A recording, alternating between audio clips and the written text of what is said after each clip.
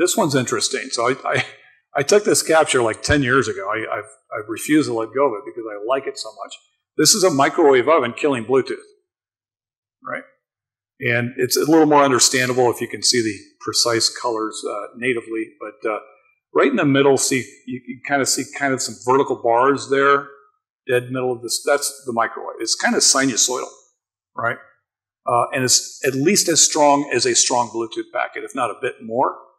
And remember the green, uh, the bar charts on the right? See how there's none in the middle? Because the microwave's killing the Bluetooth connection here, or at least it's trying to. In reality, and I'll show you in a minute, Bluetooth is managing this pretty dang well. I'll, I'll show you, right?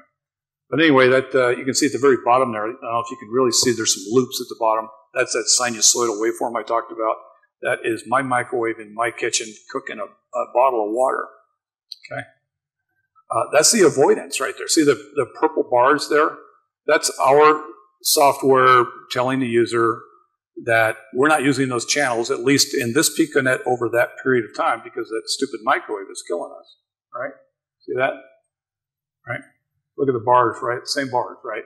So we're just shut off. So I think the BR I think the minimum's like 20 channels, and that's what it's using here. This probably isn't bad in my kitchen with my uh, phone talking to my headset, but if I have a bunch of devices contending for the same available medium, uh, this may become more problematic.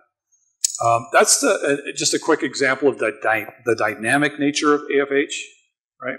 This is about, oh, I think it's a few seconds. I can't see, but uh, uh, you can see it's the, the, the devices are, are basically saying, okay, talk here, don't talk here. This channel's good, that channel's bad, etc. Okay. Uh, by the way, that's vendor dependent. That's not some hardcore spec thing, right? Um, AFH, of course, and channel mapping is defined by the specs.